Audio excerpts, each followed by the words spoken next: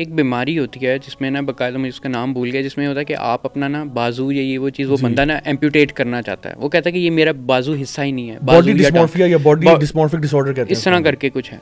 वो ये बॉडी डिस्मोरिया वो होता है कि जिसमें आपको अपनी बॉडी की पसंद नहीं है शेप और ये वो चीज़ वो हाँ। इस सेंस में है। लेकिन वो एक बकायदा होता है कि वो कहते हैं कि ये जो रिमूव दैट पार्ट हाँ, ऑफ़ माई बॉडी ठीक है? वो डिफरेंट बीमारी है। हम्म। उसमें ये होता है कि वो बंदा कहता है और वो जब तक वो काट कटवा नहीं देता है ना उसे तब तक उसे मेंटली सुकून नहीं मिलता। हम्म, कहता है कि अब मैं असल में मैं मैं पूरा हो गया हूँ ठीक है? अच्छा अब इंटरेस्टिंग बात ये हुई है कि दो साइकोलॉजिकल एसोसिएशंस का आपस में इख्तलाफ हो हम्म, गया ठीक है? एपीए इसे बीमारी ही कंसिडर कर रही है अभी ठीक है? अमेरिकन साइकोलॉजी अमेरिकन साइकोलॉजिकल वो कहते हैं कि नहीं ये बीमारी है और ये कुछ और नहीं है। वो फिर कहती है कि इसके एमआरआई स्कैन थोड़े डिफरेंट है।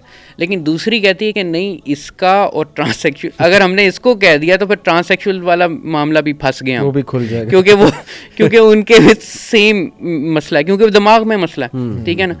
तो उन्होंने क्या किया कि नहीं नहीं ये जो एम्प्यूटेशन वाला मामला है ना ये इंसानों के अंदर डाइवर्सिटी है ठीक है ना?